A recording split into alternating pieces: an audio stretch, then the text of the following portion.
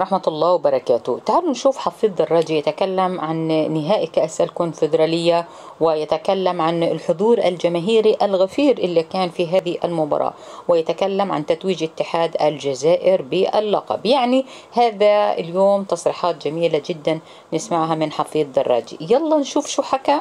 أخواتي فضلا وليس امرا. لا تنسوا وضع ال like والاشتراك. وشكرا يا أحبتي. هيا بنا نسمع. هيا بنا. أول لقب بالنسبة للنادي العاصمي وأول لقب من نوعه كذلك بالنسبة للكرة الجزائرية منذ تغيرت التسمية ومنذ تم دمج المنافستين كأس الكؤوس وكأس الكاف في مسابقة واحدة منذ 2004 صار 20 سنة الآن الجزائر لم تفوز بكأس الكونفدرالية رغم أنه بالصيغة السابقة كانت فازت بثلاث بطولات مع فريق شبيبة القبائل في 2000 و2001 و2000 واثنان ثلاث تتويجات متتالية. رغم وصولها ثلاث مرات في هذه المسابقة إلى مباراة النهائية بفضل وفاق سطيل بفضل شبيبة بجاية بفضل شبيبة القبائل الموسم الماضي عندما خسرت أمام الرجاء. هذه المرة الموعد كان أمام نادي أفريكانز التنزاني الاتحاد فاز باللقب في لقاء الذهاب أو توج باللقب في لقاء الذهاب بهدفين مقابل هدف واحد. البارحة أموره لم تكن على أحسن ما يرام حتى أن عبد الحق بن شيخة قال بأنه لم يعرف ولم يتعرف على فريق وكانت عليهم ضغوطات كبيرة وكبيرة جدا. بعدين لما تفوز خارج القواعد ب 2 1 أو ب 1 0 أكيد نفسيا تكون مرتاح شوية آه وتكون متفائل ولكن الضغوطات الجماهيرية البارحة كانت كبيرة وكبيرة جدا على لاعبين أغلبيتهم لم يشهدوا مثل هكذا حدث ومثل هكذا نهائي ولكن رغم الخسارة 1-0 حقق المهم آه بعد أن احتسبت عليه ركلة جزاء في بداية المباراة صعبت المهمة وبعد أن ضيع ركلة جزاء كذلك في بداية الشوط الثاني فعقد من المأمورية أكثر فأكثر. نحيي تلك الروح نحيي ذلك الإصرار الفردي ونحيي تتويجهم وفوزهم في نهاية المطاف. بلقب التحية الكبيرة هي موجهة لجماهير اتحاد العاصمة وجماهير الكرة التي كان بشكل واو رائع جدا ملفت وفريد من نوعه في مدرجات الملعب تشجيعاتهم التي كانت كبيرة وكبيرة جدا في ظروف صعبة. مر بها الفريق. هذه الجماهير التي تستوقفني لكي ألفت الانتباه إلى ضرورة الاهتمام بها أكثر فأكثر. خلينا نبقى في الكرة.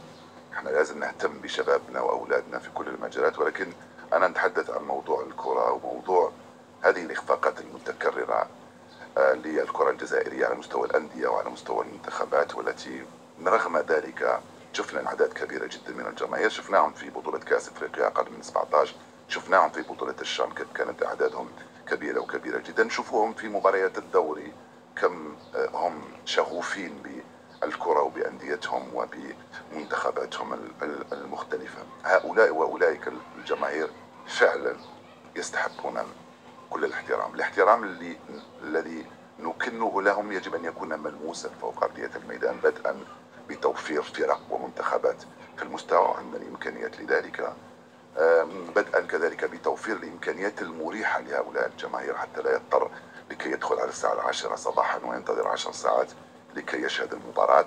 ظروف المريحة التي تسمح له بأن يجد الأكل والشرب والظروف الأمنية الملائمة لكي يعيش تلك المباراة. لا يضطر إلى دخول ملاعب عشر ساعات من قبل بل يدخلها ساعة وساعتين من قبل تكفي نقول ساعة وساعتين أنا لا أقول ربع ساعة مثل ما يحدث في أوروبا ولكن على الأقل ساعة وساعتين آه تكون كافية آه ولا تفقده ذلك التوازن وتفقده أعصابه وترهقه وتتعبه وتجعله أيضا يفقد أعصابه أثناء المباراة.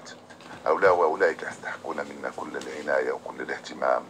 يستحقون أن يكون لديهم فريق محترم فريقهم اللي يشجعوه انتخابات محترمة يستحقون أن تكون لهم مدرجات وملاعب أيضا محترمة. نعم في الكثير من المرافق تم إعادة هي تهيئتها وتم إنشاؤها مؤخرا. هي بدورها في حاجة إلى عناية واهتمام وصيانة حتى نوفرها كلها لهؤلاء الجماهير. ما حدث يعطينا رسالة ويعطينا صورة وينذرنا لا أقول يحذرنا ينذرنا ويبعث لنا إشارة بأنه يجب أن نهتم بكل هذه الجماهير الوفية الرائعة الجميلة جدا التي تستحق منا فعلا. كل الخير. جماهير اتحاد العاصمة وجماهير النوادي الجزائرية كل كلها والمنتخبات. الأمر يمر عبر إعادة النظر في منظومة الكروية ككل. مستوى الاتحاد على مستوى الرابطات على مستوى الأندية على مستوى التقدير على مستوى التنظيم على مستوى التكوين على مستوى المتابعة للفئات السنية من خلال تفطيرهم بمؤطر في المستوى. الكرة لم تعد مجرد لعبة تتقاضى فيها الأقدام.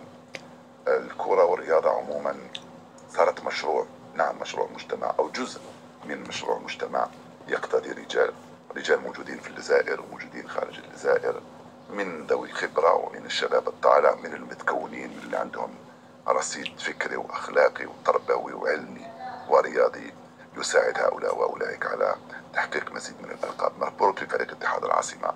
مزيد من النجاحات لأنديتنا. إن شاء الله الجزائرية أيضا على مستوى المنتخبات ولكن ليس بالدعاية وليس بالكلام بل بالفعل آه، من خلال آه، إحداث ثورة لما لا على مستوى الكرة الجزائرية عندما أتحدث عن ثورة أتحدث عن ثورة ثورة فكرية وعلمية وأخلاقية ورياضية وفنية وإدارية وما شابه ذلك لأنه فعلا الكرة لم تعد مجرد لعبة وهؤلاء الجماهير أيضا آه، ليسوا لعبة نستغلهم بل نستثمر فيهم لكي نساهم في تنشئتهم ولما لا نساهم أيضا في تربيتهم لأن أي نعم هناك الأسرة وهناك البيت الشارع وهناك المدرسة وهناك المسجد وهناك الجمعية التي ينتمي إليها هذا النشء ولكن الملاعب أيضا والرياضة أيضا تساهم في تنشئة الشباب على التعامل مع الفوز كان التعامل مع الخسارة. بكل الاحترام وبكل الأدب اللائق شكرا لكم.